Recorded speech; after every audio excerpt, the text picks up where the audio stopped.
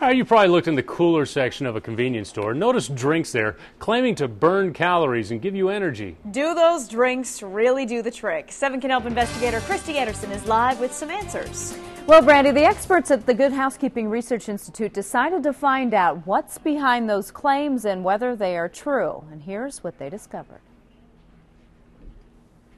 You may be tempted to buy bottled drinks like these that claim they'll help you burn calories. But Good Housekeeping Research Institute Nutrition Director Samantha Cassetty says buy with caution.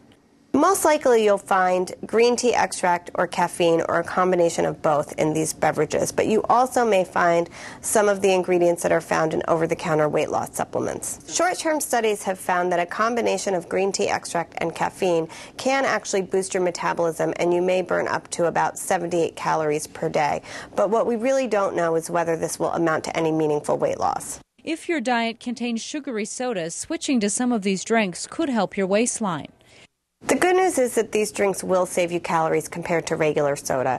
Regular soda has about 100 calories in an 8 ounce serving, and these drinks really have about 5 to 10.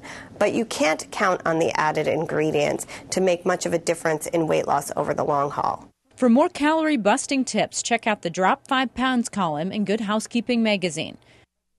Okay, you have heard it again and again, and I know it, well, I'll tell you again. Water, zero calories, best diet drink ever, of course. Researchers found that those who replaced sweetened drinks with water lost five pounds more on average than those who did not. Still a good reminder. It is. Thanks, Kristi.